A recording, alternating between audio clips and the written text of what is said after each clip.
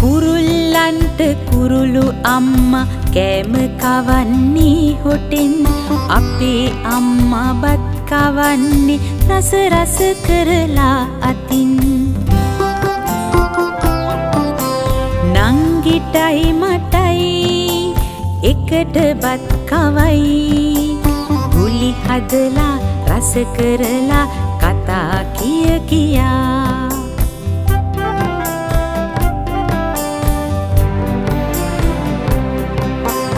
කතා රසය හිතට යනවා බත්ගුලි ටික ඉවර වෙනවා. අම්මගේ හිත සතුටු වෙනවා නොදැනුවත්ම බඩ පිරෙනවා.